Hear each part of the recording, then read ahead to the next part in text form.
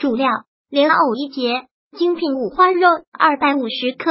辅料：面粉三百克，鸡蛋一个，姜一片，蒜三瓣，蒜苗一根，盐若干，鸡精粉若干，小苏打十克，酱油一汤勺，黑胡椒五克，糖十五克。取新鲜莲藕一节，削皮，洗净备用。莲藕切片，切片大小要均匀。选取肥瘦均匀的精品五花肉半斤，去皮，把五花肉搅成肉泥，并把蒜末、姜末切碎，放入肉泥中加料搅拌。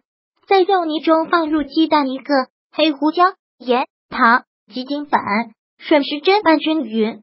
取切好的藕片，每两片加入拌匀的肉泥，切记用肉泥把藕片的孔填满。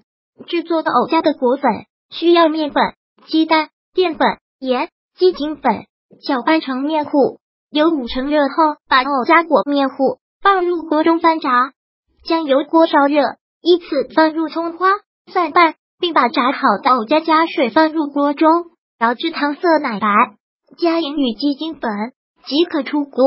如果喜欢本视频，请分享并订阅本频道，别忘了按赞哦。